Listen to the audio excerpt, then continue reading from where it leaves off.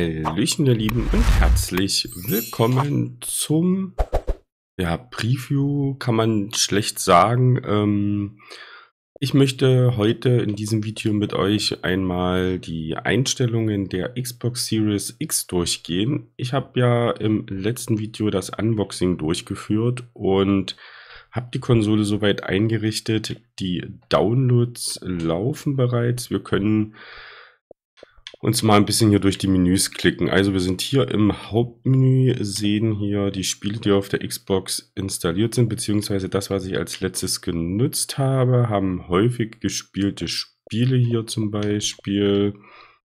Updates von Freunden in der Community, neue Spiele, die wir kaufen können, Trends, plattformübergreifende Multiplayer, Game Pass, dann haben wir hier die Apps und kostenpflichtige Top-Spiele bzw. beliebte Game Pass-Spiele. Ansehen, zuhören und dann haben wir unten noch Multiplayer-Spiele oder spiel nochmal die Sahnestücke, packende Geschichten. Da sind im Prinzip verschiedene Spiele drin, bei denen wir ja unseren Spaß haben werden. Dann haben wir, das Menü ist eigentlich relativ ähm, übersichtlich aufgeführt. Wir haben hier oben meine Spiele und Apps. Wenn wir da mal drauf gehen, sehen wir, dass ähm, zurzeit die Installation von Forza Horizon 5 ähm, läuft. Dann habe ich noch Gears of War 4. Einige Apps sind hier drin, Gruppen habe ich noch keine in der gesamten Bibliothek seht ihr meine Spiele, die ich bis jetzt für die Xbox Series X habe, beziehungsweise ähm, Gears of War 4 habe ich mir ähm, für Windows gekauft. Ist ja plattformübergreifend, kann ich also auch auf der Xbox spielen und werde ich auch machen, anstatt auf dem PC.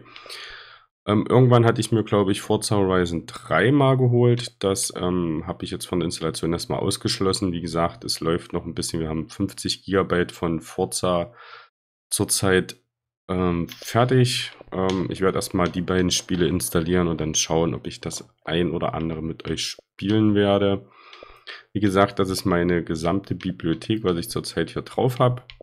Ist noch nicht so viel. Ich hoffe ja mal, dass im Laufe der Jahre da das ein oder andere dazukommt. So, dann haben wir hier oben den ähm, Store, in dem wir uns die Spiele dann kaufen können. Ich bin noch nicht so sicher, welche Spiele ich jetzt hier für die Konsole kaufen werde. Das werde ich mir dann, ja, ich denke mal überlegen. Es sind natürlich auch Spiele, die ich schon für den PC habe, beziehungsweise für die Playstation. Da muss ich dann mal ein bisschen genauer schauen. Ansonsten, ja, kann man im Store wie im PlayStation Store halt Spiele kaufen. Ganz normal, dann haben wir oben den Game Pass, den ich zurzeit ja noch nicht habe. Ob ich mir den irgendwann mal holen werde, werde ich sehen. Ähm, Gears of War 5 habe ich, glaube ich, sogar auch für, die, für den ähm, Steam Shop, habe ich auf dem PC, glaube ich, gekauft. Ähm, glaube ich zumindest. Mal sehen, vielleicht werde ich es mir nochmal für die Xbox holen. Und muss ich mal gucken. Dann haben wir einmal die Suche, bei der wir verschiedene Sachen suchen können im Store bzw. auf der Konsole. Und wir haben die Einstellungen, die ich mit euch natürlich mal durchgehen möchte. So, bei den allgemeinen Einstellungen haben wir die Netzwerkeinstellung, Personalisierung, Guide einpassen, Profil, Farbe, Design, Hintergrund. Ist alles drin. Anzeige und TV-Option, Auflösung. Haben wir natürlich das, was wir haben. Ähm, hier habe ich jetzt noch nichts weiter eingestellt. Online-Sicherheit und Datenschutz, laut äh, Ausgabe und Lautstärke. Das lasse ich erstmal alles so, wie es ist. Energieoption haben wir herunterfahren, Ruhestand, Energieoption anpassen, runterfahren, neu starten. Ähm, das hier ist zurzeit eingestellt. Konsole wird heruntergefahren, unterstützt automatische Updates der Konsole und von Spielen. Ruhezustand haben wir nicht.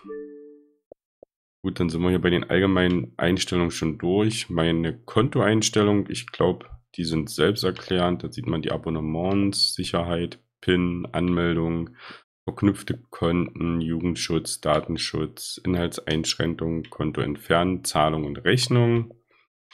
Beim System können wir die Konsoleninformation anschauen. Konsole zurücksetzen.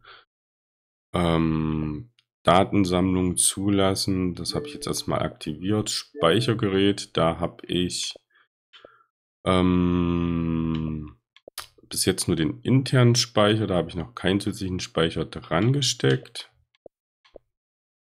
Ähm, Updates habe ich gemacht, also es ist komplett auf dem neuesten Stand. Zugriffsbeschränkung habe ich keine, Sicherung und Übertragung habe ich noch nicht benutzt. Uhrzeitsprache ist alles eingestellt.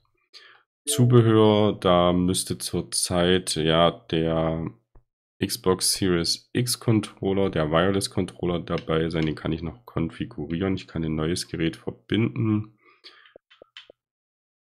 Äh, was haben wir denn noch? Medienfernbedienung habe ich nicht. Disk, Blu-ray, digitale Assistenten, eine Maus kann ich sogar anschließen. Remote Futures kann ich nutzen. Voreinstellungen haben wir hier noch mit Benachrichtigungen, Leerlaufoptionen, Pausen, Erinnerung, Aufzeichnung und Freigabe.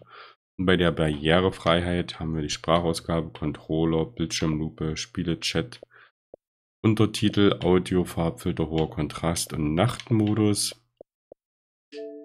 Nachtmodus ist zurzeit aus. Wenn wir den einschalten, ist alles, sieht alles ein bisschen, ja, alles ein bisschen gedimmter aus und auch ein bisschen gefiltert. Den lassen wir aber aus, den brauche ich nicht. Dann sind wir im Großen und Ganzen eigentlich auch schon mit den Einstellungen hier durch.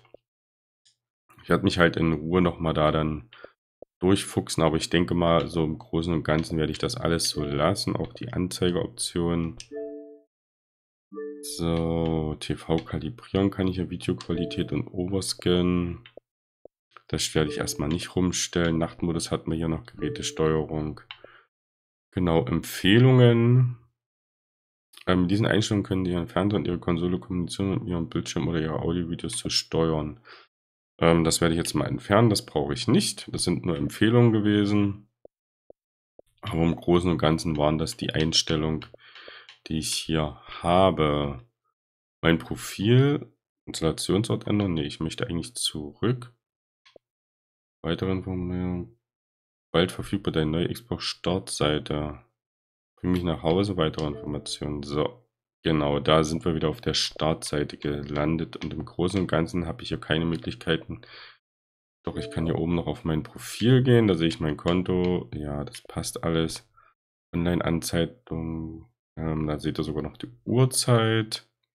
Ich könnte hier jetzt Konten hinzufügen, Einstellungen, Guide anpassen, Energieoptionen. Müsste ich aber, genau, da komme ich da wieder rein. Okay. Also, wie gesagt, Forza, die, der Download läuft noch. Wir sind mittlerweile bei 57 GB von 130. Da kommt noch das Rallye-Abenteuer Gears of War 4. Vielleicht, wie gesagt, hole ich mir noch Gears of War 5. Muss ich mal sehen, ob ich das für die Xbox oder auf dem PC irgendwann mal spiele, wenn es die Zeit erlaubt. Ansonsten sind wir so im Großen und Ganzen durch. Packende Geschichte Red Dead Redemption Microsoft Store anzeigen. Was kostet das zurzeit? Ist sogar reduziert auf 19,79 Euro. Okay, hier hat man Red Dead Redemption und Red Dead Redemption 2. Habe ich mir natürlich für einen PC geholt, brauche ich auf der Xbox dann nicht nochmal. Aber hier jetzt für 20 Euro, obwohl ich Red Dead Redemption auch für einen PC habe, ne? Es wäre blöd eigentlich nochmal zu kaufen. Call of Duty 4 Modern Warfare habe ich, glaube ich, auch schon. Guardians of the Galaxy. Hier haben wir optimierte Spiele für die Xbox Series X bzw. S. Da kann man sogar nochmal reinschauen. Was hier noch alles dabei ist, Fall Guys ist sogar kostenlos, Fortnite, Rocket League, Warcry 6 ist im Ubisoft Store enthalten, It Takes Two Freundespass und haben wir denn hier schönes? Rouge Company, okay, Elden Ring, ja, sind ganz schöne Preise, wenn man hier so reinschaut, ne? Und wie gesagt, einige Spiele habe ich halt schon für den PC oder für die Playstation. Ähm, ich bin echt gespannt, welches mein erstes Xbox-Game wird. Ich denke mal, wir werden auf jeden Fall in Forza reinschauen. Nicht das jetzt einmal, was ist das hier? Xbox Avatar Editor, Original Avatars. Ja, ich denke mal, wenn wir Ähm, ich weiß, ich spiele auch zurzeit noch ähm, Horizon, Forza Horizon 4. Aber die 5 war nun mal dabei, deswegen kann die ruhig hier drauf und die werden wir uns definitiv auch anschauen. Soll ein schönes Japan-Szenario haben, wenn ich richtig informiert bin. Und vielleicht werde ich auch mit Gears of War mal beginnen. Da habe ich ja, glaube ich, den ersten Teil auch für einen PC. Und vielleicht ähm, schauen wir uns die anderen Teile dann auch noch an. Ich müsste sogar Warteschlange, da haben wir vier was drin. Achso, ja, das kann alles runterladen. Das passt schon soweit. Nutzergriff aus, aber im Netz, Netzwerkübertragung aus Kachelgröße kann ich hier sogar noch einstellen. Steht jetzt auf klein, wenn ich die auf Mittel nehme. Müsste doch alles ein bisschen größer sein eigentlich, oder? Oder zählt das nur hierfür? Auswählen einer Kachelgröße für meine Spiele und Apps. Achso, das ist dann hier drin nur. Okay. Können wir das auch lassen. Wie gesagt, in der Bibliothek habe ich noch nichts. Ähm, was ist der Game Pass Ultimate? Da können wir mal reinschauen. 14 Tage für 1 Euro kann ich jetzt beitreten. Hunderte großartige Titel zum Spielen auf Konsole, PC und in der Cloud. Spiele, brandneue Spiele von Xbox Game Studio am ersten Tag.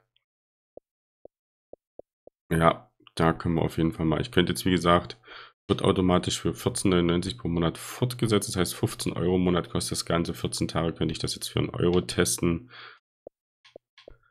Ähm, werde ich mir noch überlegen, ob ich das machen werde. Oh, nein, da war ich doch gerade. Hallo, ich wollte zurück. Ja, geht doch. Okay, meine Güte. Ja, ich muss noch ein bisschen zurechtkommen hier, aber das passt schon. Ja, im Großen und Ganzen ist es das gewesen, was das Menü hier der Xbox angeht. Wir haben uns soweit alles angeschaut und ich denke mal, irgendwann wird dann das erste Xbox Series X Gameplay für euch kommen. Wenn es euch gefallen hat und ihr mehr sehen wollt, lasst einen Daumen nach oben da oder einen Kommentar. Ich würde mich freuen und sagt bis zum nächsten Mal. Macht's gut, euer Basti. Tschüssi.